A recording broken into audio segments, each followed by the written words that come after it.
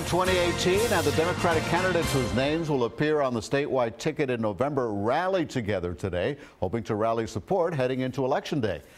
CBS 4's Ted Scouten is live in Orlando tonight with their message for voters. Ted, what are they saying?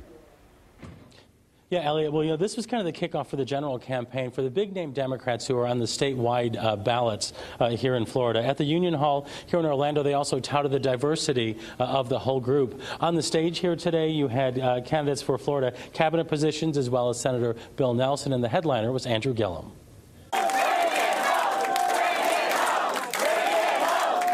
A victory lap for Florida Democrats after Tuesday's primary, the top candidates for statewide offices getting voters fired up for November's general election.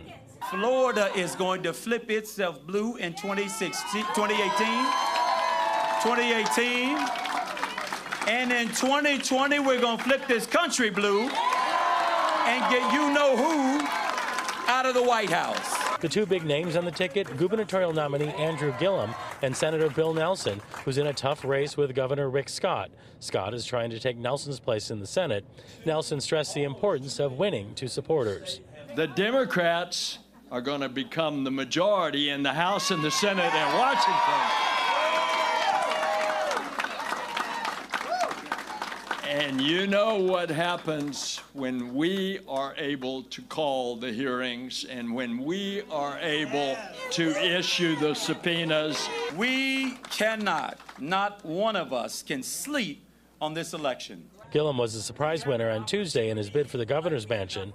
He's seen as a candidate who is most energizing the base. There are still more of us who are common and who are decent who are self respecting, who still believe in the American dream, who believe that there's room in this world for all of us, regardless of what our country of orientation is, the language we speak, the faith that we may or may not have, who we choose to love and to marry, that there is enough love and connectedness and community that we can all live this thing together.